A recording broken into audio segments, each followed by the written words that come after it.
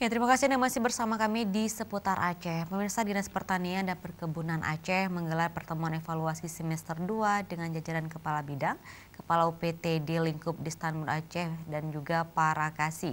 Dan acara tersebut dibuka langsung oleh Kepala Dinas Pertanian dan Perkebunan Aceh, Ahanan di Hotel Grand masuk kami di masuk kami di Hotel Grand Nanggro Banda Aceh pada Selasa malam.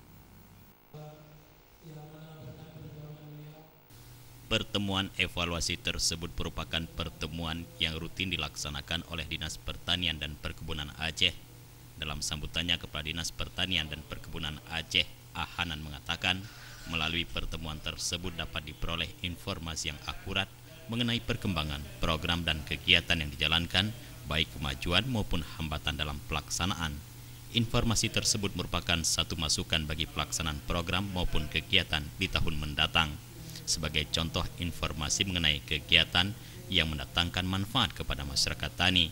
Semua informasi tersebut merupakan input penting bagi perencanaan ke depan agar anggaran yang akan datang dapat dialokasikan kepada program atau kegiatan yang mempunyai manfaat besar terhadap kesejahteraan masyarakat tani di Provinsi Aceh.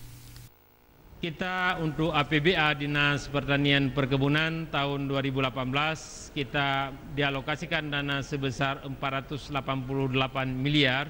Kemudian dari alokasi dana tersebut hari ini kita berproses terus dan hari ini sudah terrealisasi sekitar 50 4 persen dari lokasi dari alokasi tersebut.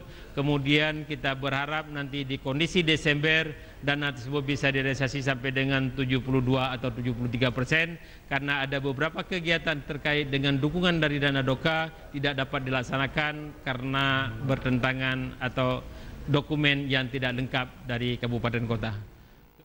Hanan berharap ke depan agar berbagai kegiatan yang dikerjakan atau terkendala dapat dilaporkan dan diinformasikan kepada Dinas Pertanian dan Perkebunan Aceh guna mengetahui perkembangan yang terjadi di lapangan.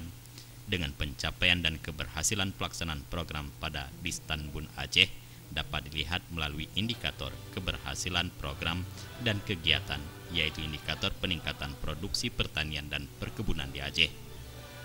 Tim Liputan Aceh TV